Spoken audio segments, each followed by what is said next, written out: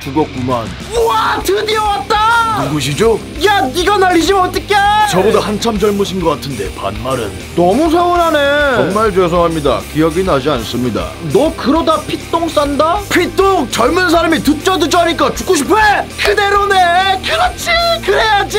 이 새끼가 진짜 똥꾸린내는 천리 밖에서 오단다더니 정말 대단하십니다 그런 말이 어딨어? 누군데 넌? 네 저는 저승보험사 이달의 보험왕 고소입니다 보험사 양반 이 사람이 자꾸 시비를 걸어요 시비요? 젊은 사람이 협박과 겁박을 합니다 진짜 기억 안 나세요? 기억 안 난다고요 피똥 좀 싸시겠네. 뭐요? 전 그럼 가겠습니다. 천국에서 푹 쉬다가 환생하십시오. 저 마지막으로 한마디만. 네 말씀하세요. 날 기억하길 바랬어. 죽은 마당에 용서하면 네가 덜 고통받을까봐. 이 새끼가 뭐라고 떠드는 거야?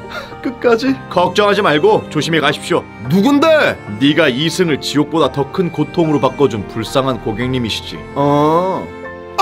아! 이제 기억났어? 늦었어 사과도 용서도 후회도 죄송합니다. 제가 지금이라도 사과를 할게요. 늦었다고 사과도 용서도 후회도